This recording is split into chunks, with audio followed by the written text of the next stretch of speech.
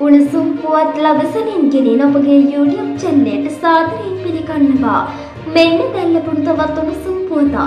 පායකල් පොලිසිය රථවාහන වංශයේ නිලධාරීන් පිරිසක් විසින් නියුතුපතියක් නොඇත්තු බව පවසමින් දාසල් හැවිරිදි පාසල් සිසුවෙකුට අමානුෂික ලෙස පහර දීමේ සිද්ධිය සම්බන්ධයෙන් ශ්‍රී ලංකා මානව හිමිකම් කොමිෂන් සභාව විමර්ශනයක් ආරම්භ කර තිබෙනවා. පසුගිය හත්වනදා අදාළ සිසුවා පියාට අයත් යතුරුපැදියෙන් අසලැති වෙරඳ සැලකට ගොස් ඇති අතර මිදුරා හෙල්මට් පැළඳ සිට නොමැති බව පොලිසිය පවසා තිබෙනවා. එහිදී පායාගල පොලිසියේ රථවාහන අංශයේ ජංගම නිලධාරීන් දෙදෙනෙකු ඔවුන් පසුපස ලොහු පෙත යතුරුපැදිය නවත්වා බැන වැදී තිබෙනවා. එම අවස්ථාවේදී පාසල් සිසුවා යතුරුපැදිය යලි පඩිකන්වා අසල සිටි ඥාති නිවසක් වෙත යතුරුපැදිය ධාවනය කර ඇති බව සඳහන් වෙනවා.